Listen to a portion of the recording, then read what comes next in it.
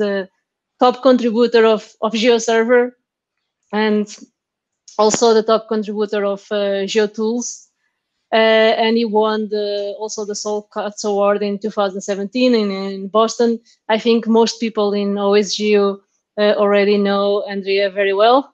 Uh, so I give the floor to you, Andrea, to tell us about uh, GeoServer and OGC APIs.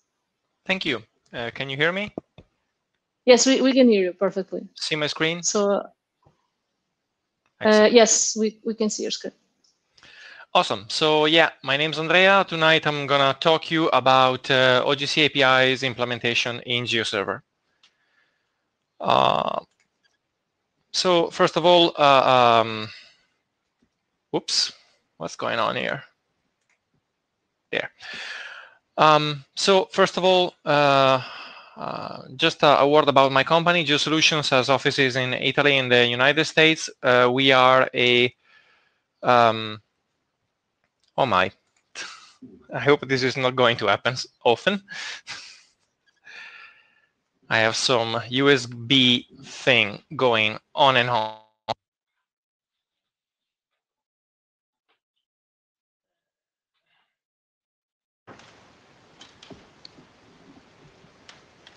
Okay, I unplugged a few bits. Can you still hear me? Uh, yes, we can hear you. Uh, the the screen was kind of switching between uh, Right, the, but now it's it's stable. Yeah, it seems to be stable. I just pulled some stuff from the USB. Hopefully, it's gonna be st staying quiet now. Okay, so back to your solutions. back to GeoSolutions. Uh, yeah, it's um, uh, service company. Uh, we have uh, 30 plus collaborators, uh, 25 of which are engineers, so tech uh, uh, very much tech-oriented. We support the GeoServer, MapStore, GeoNode, and GeoNetwork, and provide a number of services, including support, deployment, uh, custom development, and professional training. And it seems that I unplugged one bit too much.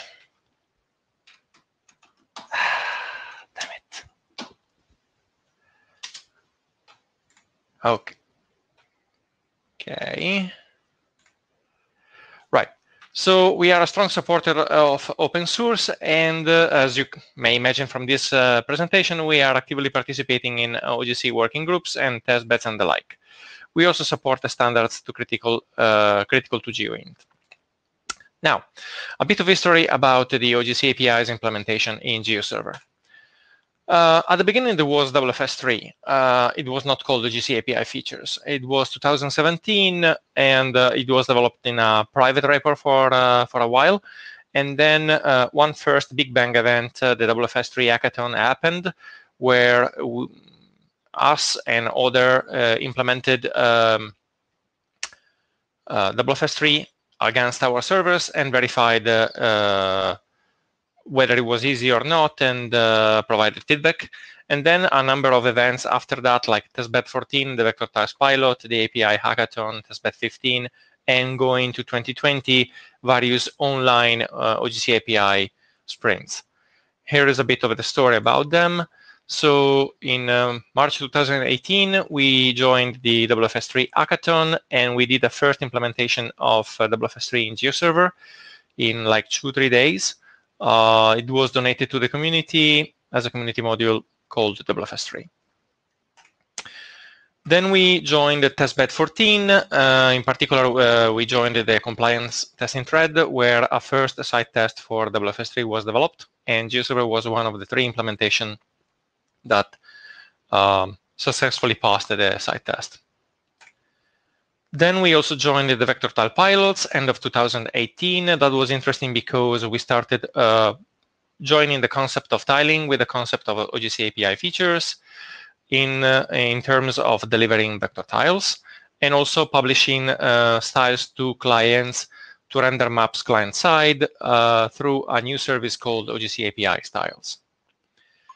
In 2018, uh, OGC API, sorry, WFS3 was renamed into OGC API features. Uh, and at this API hackathon in London, uh, other services started exploring implementing OGC APIs as well. and uh, a notion of API commons, uh, that is the shared bit between all the APIs was formed and uh, uh, made into its own draft standard. Uh, fast forward to 2020 and 2021, OGC has been um, organizing OGC API virtual code sprints. It's each code sprint typically has one focus or maybe two or three focuses at, at most uh, where um, developers implement uh, the last version of uh, one or more specification. We typically choose one when we when we participate, and we use these events to keep uh, GeoServer API, the GeoServer API implementation, uh, up to date with the evolving definitions of the various uh, services, because most of them are still in draft. Now, what are the common elements of OGC APIs? Well, they are all based on OpenAPI. OpenAPI is an, an open uh, initiative uh, to uh, that, that provides a, a way to specify the definition of a RESTful service based on resources, representation, HTTP methods. And uh, uh, in addition to that, each uh, OGC API has um, a core um, specification which tends to be very small and can be implemented in, uh, in a matter of days, and then a bunch of uh, extensions which you may or may not implement as you choose, which add extra functionality. Um, the common uh, traits of uh, OGC API are a landing page, which is your entry point into the API, which basically contains links, a conformance class declaration, where you can find what actually is implemented in the server in terms of extensions and um, APIs. And for services that expose data, then you will probably have a collections uh, resource listing the collections and access to each collection. Um, the API definition is typically linked from the landing page uh, through a, a link uh, with a rel of service dash. Uh, it doesn't have a fixed position in the um, resource tree, although GeoServer typically puts it at uh, slash API. Uh, since we are talking RESTful services, everything is linked. So in pretty much every kind of response you get from an OGC API service, you will get lots of links. So for example, uh, here we have slash collections, which has a number of backlinks to, to itself and to alternate representations of itself. That is, uh, maybe I'm asking for the JSON representation, and then I'm going to uh, get links uh, pointing to the HTML representation or the YAML representation. And, and then to its neighboring resources, in this particular case, links to the uh, child's, the single collections. And at the bottom, you see um, the, the structure of a link. So it has a link, a relationship, a type, which is the MIME type of what you're going to get if you follow it, and a title for, uh, well, for humans to read. Uh, each resource has a representation. Typically, OGC API Commons recommends using HTML for humans and crawlers and JSON for machine-to-machine -machine, uh, communication. How do you choose a representation? Well, the accept header is always there. And it's great for browsers because they always send an accept header. And uh, uh, each server has a choice of a custom query parameter uh, that may be used to, uh, to force a particular representation. In the case of GeoServer, that's f. f equals the MIME type you want. Uh, each API is based on a tiny core, like the bare minimum for a working service, and a, a potentially large set of modular extensions for everything else and you go to the conformance declaration to find out what is implemented in one particular implementation of an OGC API. Everything, um, I mean, not everything, but most of the APIs are still in draft stage and, and changing as we speak, but there are a couple of, uh, of specs which reached uh, a stable version, a 1.0. One is OGC API Features Core, and the other one is OGC API Features Coordinate Reference System by reference. Now, let's have a look at OGC uh, API features. Um, in addition to what you, you can find in OGC API core, you will get items under each collection. Items are the features, and items slash item ID to refer to a single feature. The only supported CRS are CRS 84, uh, in longitude latitude order or CRS84H if you need uh, also an elevation. So that's the only CRS you get out of the box without implementing extra extensions. The schema is not required, so features can be anything. They can be simple, complex, heterogeneous. You can literally take a Elasticsearch database or a MongoDB with uh, a load of uh, heterogeneous JSON documents, and it's going to be a valid uh, source for OGC API features, which something we couldn't have said for WFS. Um, if you have a schema, you can link it using the described by uh, relationship.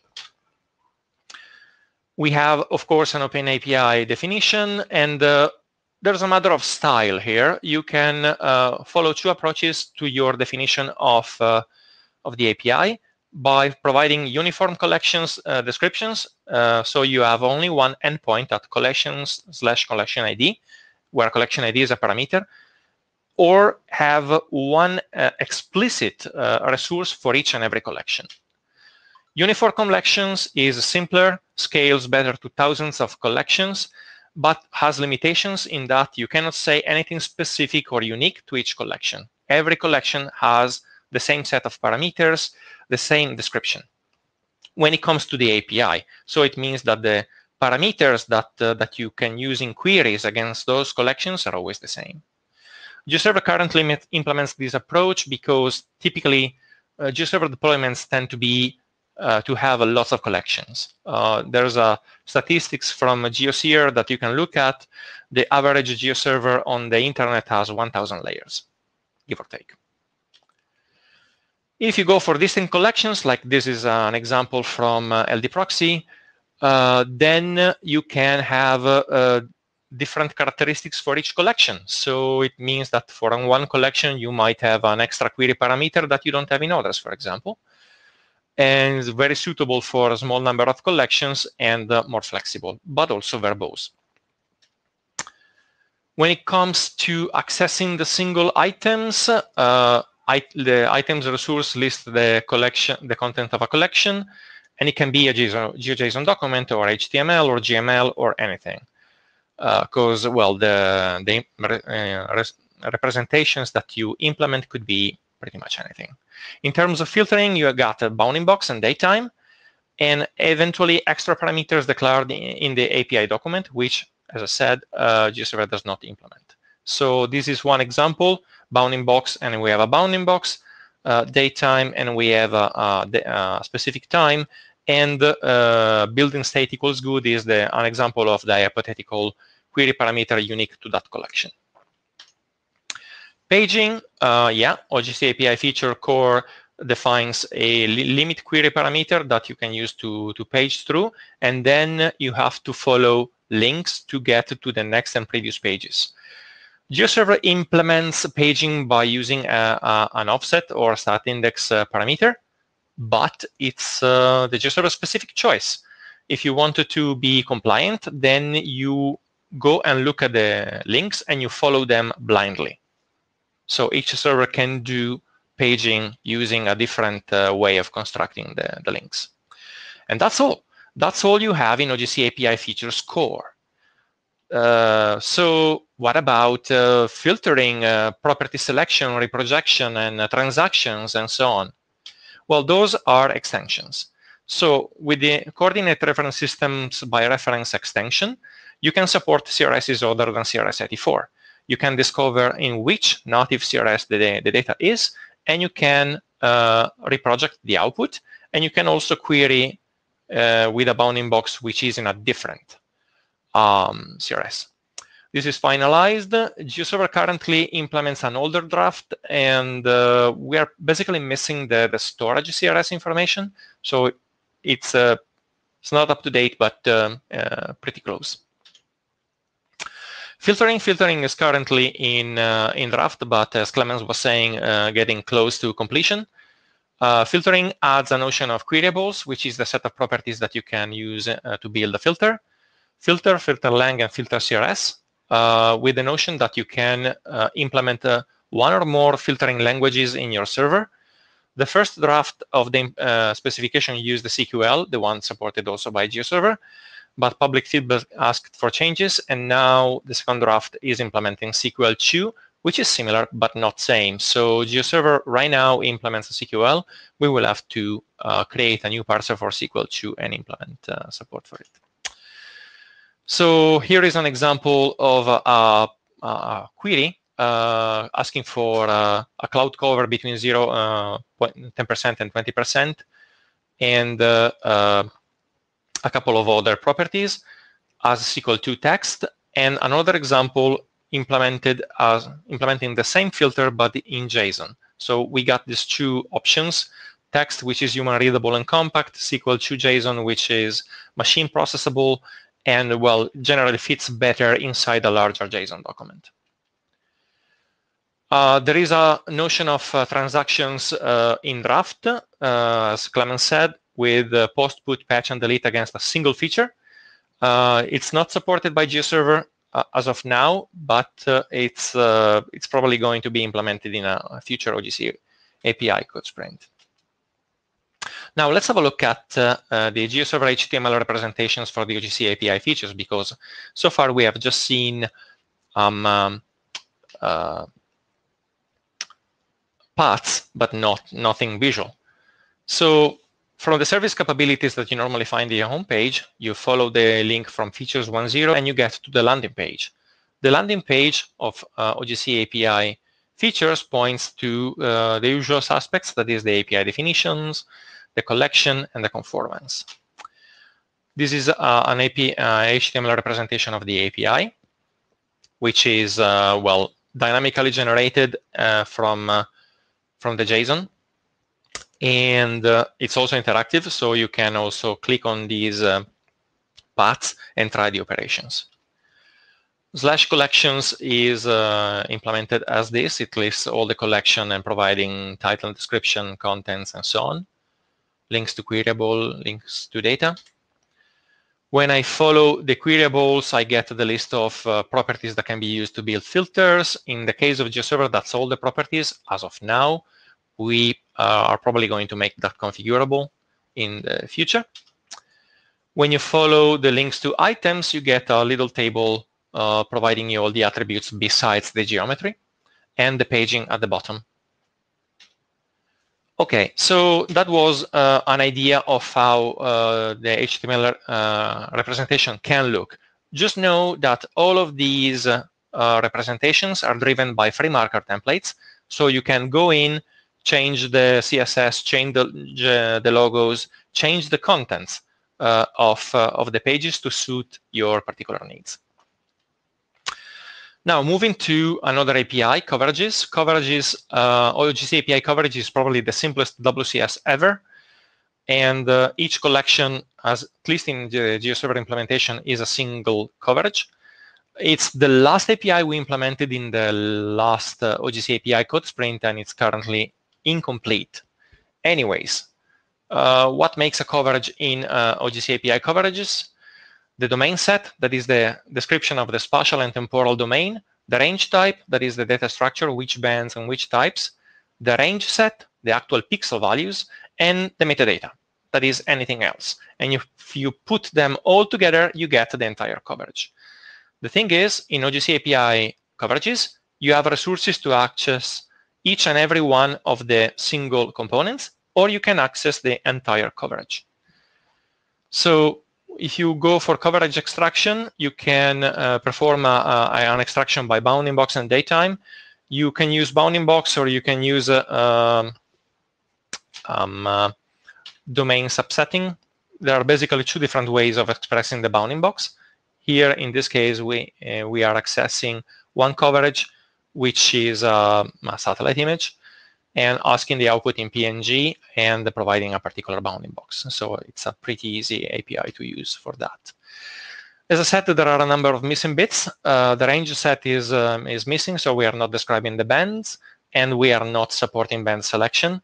Uh, scaling is missing, and the coverage styles are missing. We hope to implement those as uh, OGC API coverages, coverages starts being used in uh, contracts maps. We have uh, also a, a, small implementation of the Maps API.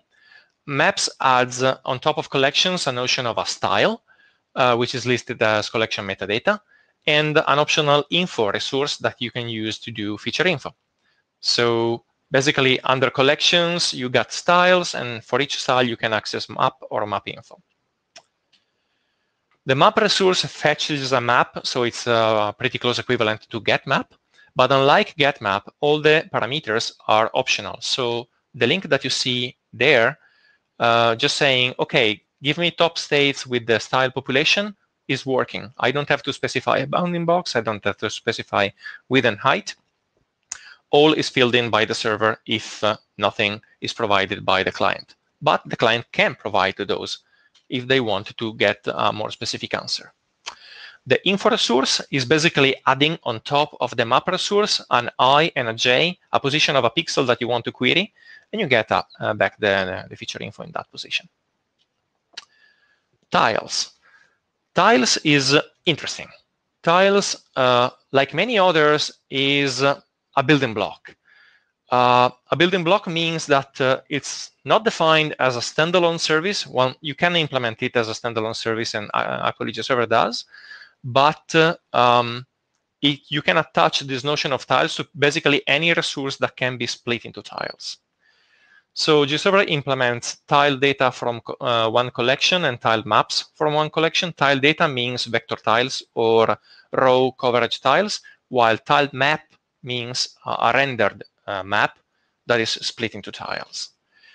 As I said, it's a building block, so you can take anything, a collection, a set of collections, a set of maps, or the output of a WPS process. And if that one resource can be sliced into tiles, then you can attach the tiles building block to it and uh, serve tiles out of it. Each uh, tiles resource uh, provides URL templates. And this is interesting because, um, uh, well, you know that all the resources in, in an OGC API are linked to each other. But when it comes to tiles, we have a practical problem, there can be billions of tile resources, so we cannot practically link to them. What we have instead is a URL template that uh, you need to fill uh, with uh, a Z, a Y, and an X in order to, uh, to address a particular tile. Uh, it's also interesting that we have a metadata resource for tiles, which can be implemented, which describes the, the tile set.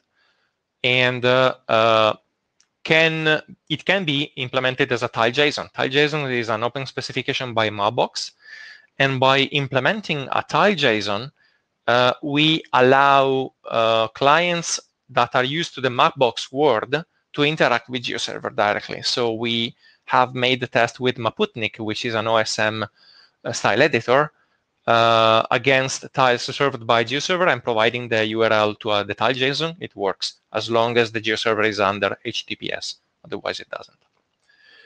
Okay, uh, enough about tiles. Let's talk about styles. Styles is interesting because an it's an API without collection, because it's an API without data. It's an API that talks about styles. So GeoServer always add this internal style catalog where we have all the styles and they can be linked to, to the data. Well, the Styles API exposes this internal catalog, allowing clients to fetch the, the styles and eventually edit them and update them.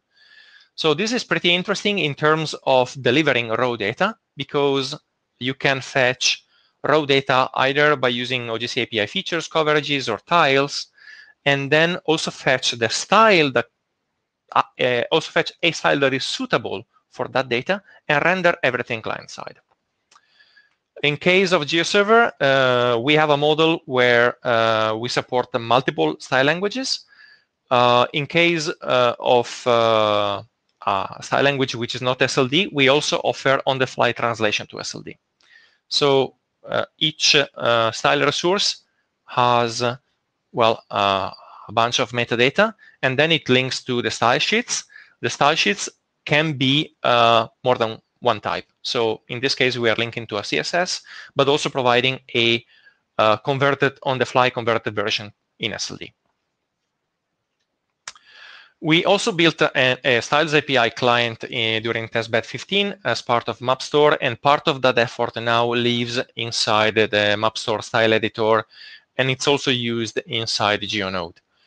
Um, uh, and uh, well, we have the style editor that was using the style API to locate the suitable data for display, allowing the editing of the style and then saving back the results to, to, to GeoServer. Finally, there are more APIs. Uh, I haven't included them uh, in this presentation, but GeoServer also supports the STAC API as a, as a community module, and I talked about it briefly uh, this morning uh, in my Earth observation presentation. We implemented a, a tentative DGGS API for uh, distributed global um, grids, and uh, um, there are also a number of APIs which GeoServer does not support yet, but that we would like to add either through sponsoring from customers or by participating to OGC API sprints, such as records, processes, routes, and environmental data retrieval. And I think that more will pop up because I, I have a feeling that uh, the, the direction is to go towards uh, smaller API, more specific, and more of them. And that's all. Thank you very much, uh, Andrea. Uh, I think we, we have one question for you. So it says, uh, any suggestions on handling sub-collections hierarchies? Use a thematic server name and then leave the sub-collection in the collections URL? Right. So yeah, this concept is, is already present in, in WMS. In the WMS capabilities, you can have a tree of, tree of layers and the layer, uh, some layers can contain other layers. In OGC APIs, the, the collections are flat, uh, but uh, uh, there has been quite a bit of discussion during testbeds about uh, nesting collections. And I think that's going to be an extension to OGC API Commons that every other API can implement in order to have nested collections and serve data through a, a, hierarchical organization. But GeoServer does not implement anything like that at the moment. Okay.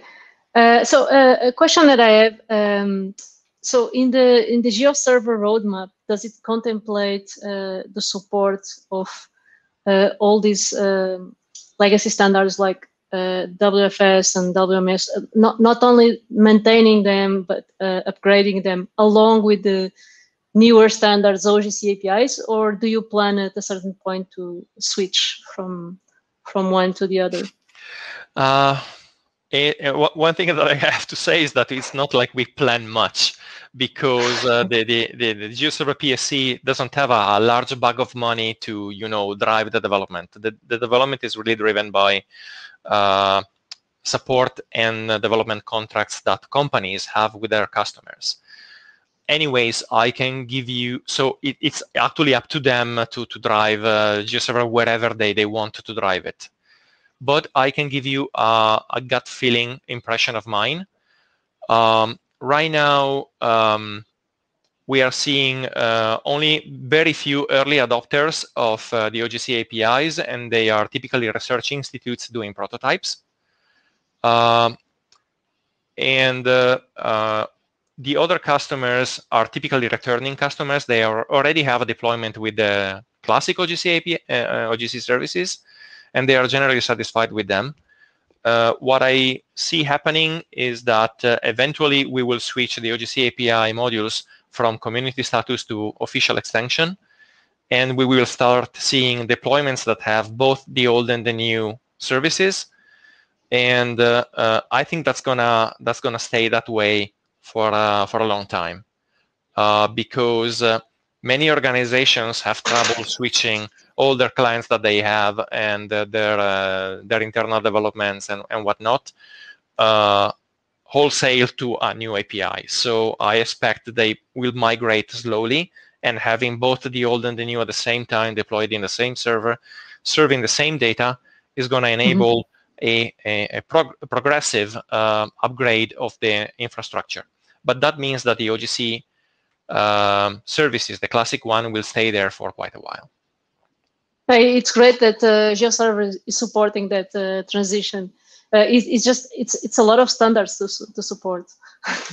well, actually, uh, from the point point uh, code base point of view, uh, the all the OGC API implementations are built on top of the classic OGC services. Eventually, we will okay. have to uh, take the engine, uh, detach it from the classic OGC services, and then allow people to deploy OGC API features without deploying WFS, which at the moment is not possible. But the direction that I see us going is that one. Okay, fantastic. Uh, Andrea, we have another question. Uh, it's will the user role management be present for APIs? Yes, it's already present. So when uh, um, so the user role management is is already uh, I mean it's it's a built-in and and a part of uh, of GeoServer, and uh, uh when you uh, define access rules for uh, layers, they apply regardless of how you access those layers. So you it doesn't matter if you use the OGC services or the OGC APIs, the same rules apply because they are applied at the catalog level, so uh, deep down into GeoServer. And uh, the, the protocols are the, the highest level. So they all share the same security subsystem. And also okay. for service access, uh, the OGC APIs already plug into the, the service security. So you can already say something like, okay, uh, styles, uh, transactional operations, I'm going to allow them only to a particular type of user. Just like we do for uh, WFS transactions. So it can already be done. Perfect. Uh, another question, uh, will the authentication methods will also will be also present? Yeah, exactly the same consideration. Authentication methods are a layer uh, on top of every HTTP request that the GeoServer uh, receives. So uh, they should already be working with OGC APIs, although I haven't tried. Okay, so uh, if there are no more questions, uh, I think we reached the time uh, of, of our presentation. Uh, thank you very much, uh, Andrea, for this fantastic presentation. And also thank you to all the other speakers who contributed uh, to this very refreshing uh, session today. And also of the participants uh, that stayed here, especially those in Europe, uh, which have a late, a late time, late night schedule. I hope you enjoyed the session. I, I certainly did. I see a lot of claps. So thank you, everyone, and uh, good uh, afternoon and good, good evening. Thank you. Bye-bye. Good night. Bye-bye.